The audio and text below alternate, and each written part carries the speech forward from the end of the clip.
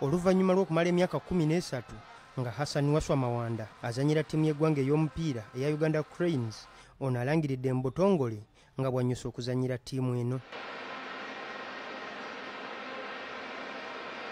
Ono nga yabadde omumyuka wa kapiteeni owa ttiimu eno yatandika okugizannyira mu mwaka gwa 2006 era wannyukidde nga yakagizannyira emipiira 75 nga tagiteebeddeyo ggoolo yonna hassan waswa yaliko ku ttiimu ya uganda cranes eyakola ebyafaayo mu mwaka gwa 2017 bwe yayitamu okuzannya mu mpaka eza afcon ez'akamalirizo ze yali emaze emyaka 38 nga tezeetabaamu. Ono era azanyidde uganda cranes mu mpaka za afcon ez'akamalirizo emirundi ebiri mu mwaka gwa 2017 ne 2019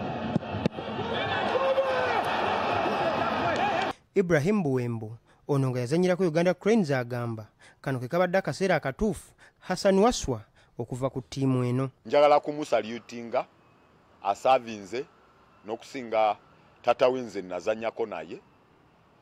And uh, kinkoze bubi okuba nti agenda mu mbeera eno mwagendera and uh, tekisanyusa nti agenze abanja tekisanyusa nti alekulidde bulekulizi.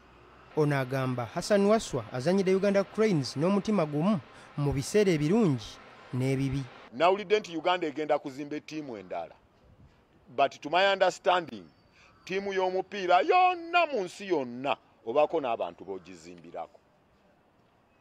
Now nze simanyi nti kaakati eno empya gye tugenda okuzimba bagenda gizimbira ku baani hassan waswa yasembayo okuzanyira uganda cranes mu mwaka gwa 2019 mu mupiira uganda cranes gwe yakubiramu ethiopia golemu ku bwereere